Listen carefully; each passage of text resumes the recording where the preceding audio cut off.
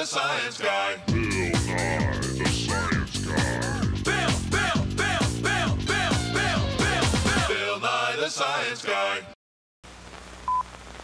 We're just gonna go. We're not gonna rehearse. Good. Love it. Okay. Here we go. Here we go.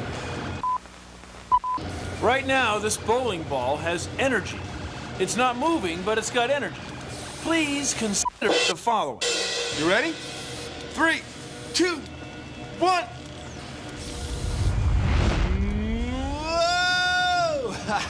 Whoa! It looked like it was gonna smack me right in the head, didn't it? I mean, it's a bowling ball. It would knock me pretty good.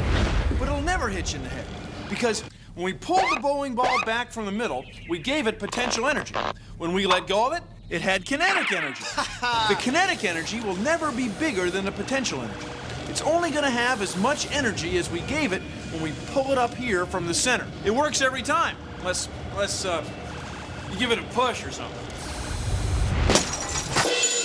Oh, sorry. Energy can be changed from one form to another.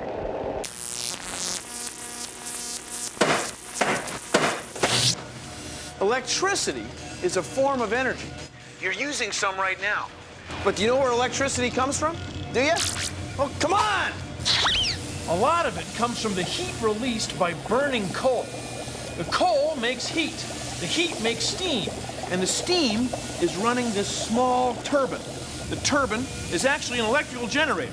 And we can read the electricity on this gauge. This is the same way it works in a real coal plant, except there's more coal, more steam, bigger generators, and more electricity. The Science Guy.